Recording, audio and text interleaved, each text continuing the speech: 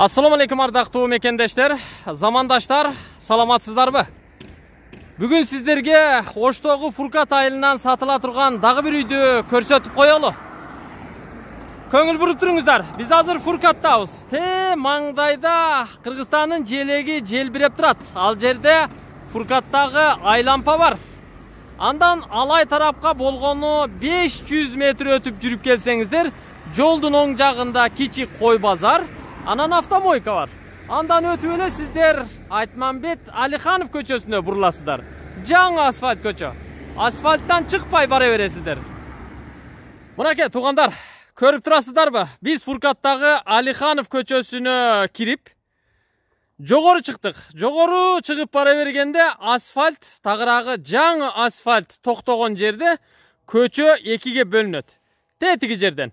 Ошол жерден сиздер сол тарапка буруласыздар дагы бир аз жогору чыгып келсеңиздер жерде шыйпаң деген жер бар шыйпаңга келгенде кайра жаңгактардын ылдый тарабына солго буруласыздар сол тарапта көрүп турасыздар ылдыйкы көчө менен келген тарапта дагы үйлөр көп ушул үйлөрдүн катарында арасында жогорку тарабында мына бул мансард тибинде курулган салынган үйдү көрөсүздөр сатыла турган үй ушул үй экен азыр мен сиздерге ушул үйдү көрсөтөм үйдүн ээси менин жанымда азыр өзү айтып берет негизи унаа келе турган жолун баса белгилеп айта турган болсок эки жагынан тең келүүгө мүмкүн экен мына көрүп турасыздар ылдыйкы кошуналар тараптан келген көчө тетиги жака ылдыйга түшөт анан солго бурулат бул үйлөрдү айланып тетиги жактан келе турган жолу бар бул биринчи жолу туугандар ал эми жогорку жолу мына ушул азыркы биз түшкөн э, шыйпаң тарап мына бул жер тегиздик арчалар турган жер.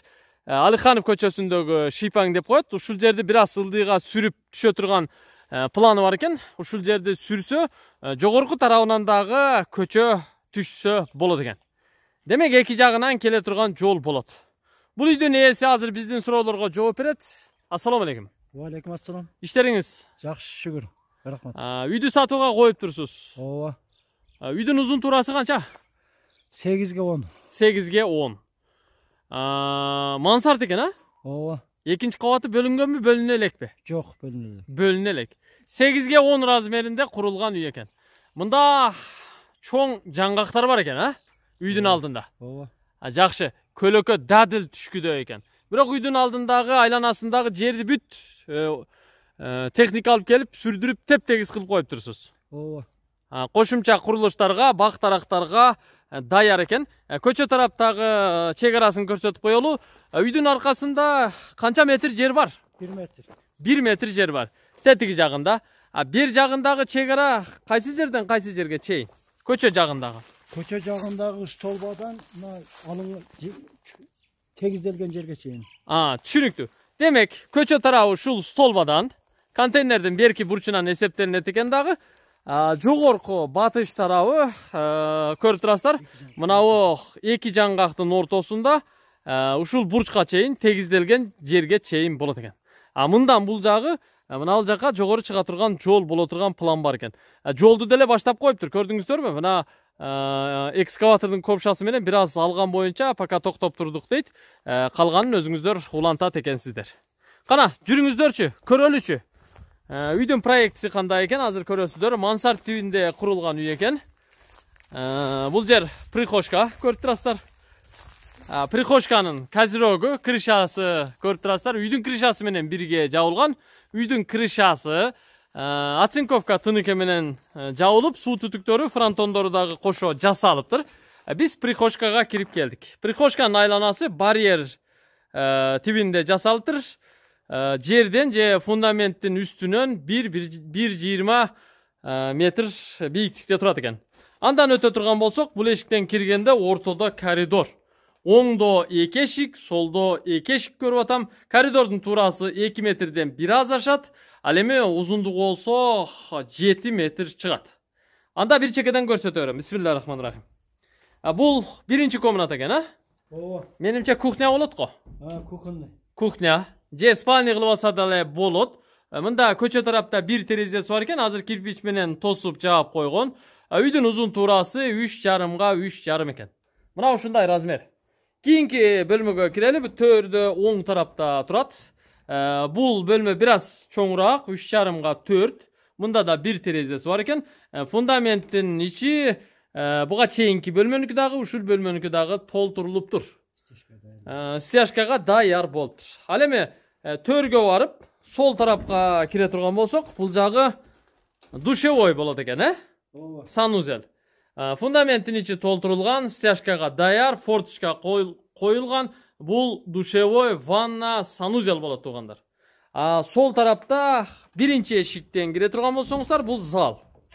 Залдын узун туурасын айтып коелу туурасы үч сексен узундугу беш жыгат мында эки терезеси бар эки жагында ал эми астында подвал да бар турбайбы э ооба подвалга сырттан кирет экен полдун лагалары ташталыптыр калганын үстүн өзүңүздөр кагып аласыздар асты подвал болот подвалдын тепкичи да даяр андан мына жакта дагы бир эшик бар экен бул коридордун асты дагы подвал турбайбы э ооба тетигинде эшикти көрүп турасыздар ошол жактан киргенде мына бул ортодогу коридордун асты полностью подвал текчеси менен болот экен туугандар ал эми бул коридор менен сиздер төргө келсеңиздер төрдөн душевойдун эшигинин жанынан үстүнө чыга турган тепкич болот экен мына бул жер үстүнө жыгач да коюлбаптыр. Азыр ачык турат экен үстүнө кандай бөлмөлөр болсо мансард бөлмөлөрүнө ушул жердеги тепкичтен чыгууга болот экен үстү азырынча бөлүнбөптүр э? Ооба. Бөлүнбөптүр. Эки же үч бөлмө болот го спальня а үч бөлмө болот го ар ким өзүнө ыңгайлаштырып кылып алат да кылып алат жакшы үй ушул туугандар болгонун болгондой колдон келишинче аракет кылып көрсөттүк эми кайра сыртка чыктык жердин калган бөлүгүн көрүп койгула бул жагы мына тегиздеп жарча кылып койгон бул жагына келечекте сиздер бир катар бетон куюп тегиздеп бийиктетип алсаңыздар болот жер болсо теп тегиз канча сотик жериңиз жерим өзү алты жарым сотик алты жарым сотик документте беш сотик документте беш сотик өзү фактически алты сотиктен ашат экен э ооба аябай жакшы бул жагы кайсы жерге чейин барат ушул тегизделген жер полностью сизге карайбы тегизделген жер ушу үйгө карайт тетиги бурчтан бул жагы мына кошунанын туалетинин бурчуна чейин барат экен ал жагына фундамент да куюп коюпсуз го э ооба ал дубалдын фундаментиби дубалдыкы дубалдын заборго даяр дубалдын фундаменти экен бул жака үйгө жанаштырып тетиги бурчка чейин күнгөй бет кылып бери каратып кошумча курулуштарды сарай баня очоккана времянка каалаган курулушту ушул жерге жасай берсеңиздер болот мына ушундай баарын көрсөттүк аракет кылдык бул үйдө тезинен бүтүрүңүздөр кирип жашай берсеңиздер болот бул жерде таш да бар экен э жакшы подвалга азыр эле ушул жактан кире тургандыгын көрдүңүздөр кааласаңыздар мен бул жактан дагы көрсөтүп коеюн подвалга мына ушул жерден кирүүгө мүмкүн тепкич ушул жерден болот мына подвалдын ичи кеңири текчелери менен. Көрдүңүздөрбү подушкасы менен куюлган. Жакшы подвалы дагы бар. Эми үйдү агам канча дээр экенсиз үйдү канча дейсиз эми? Пулун айтыңчы. Жыйырма сегиз деп атам. Жыйырма сегиз деп атасыз түшүп бересиз да э ооба бир аз түшүп берем бир аз түшүп бересиз жыйырма сегиз миң доллар деп атат документтери такпы так кеми бар экен деп атат документтери так экен эгер жакса сүйлөшүп көрөсүздөр бул жерде свет бар экен э свет бар таза суу бар свет бар таза суу бар анда жакшы экен сугат суу да бар туугандар мына бул жаңгактардын астындагы шак арыкты көрдүңүздөрбү жайында буюрса бул жерден шарактап ар дайым суу агып турат келиңиздер бул үй жакса алыңыздар анан ремонтун бүтүрүп жашаңыздар. Тиричиликти ушул жерде кылыңыздар эгерде ушул үйдү сатып ала турган болсоңуздар трассага жакын бала чакаңыздар трассага круговойго чыгып ошол жерде мектепке бала бакчага маркетке аптекага дүкөндөргө барып келип турса болот көрүшкөнчө аман туруңуздар сиздерге насип кылсын эми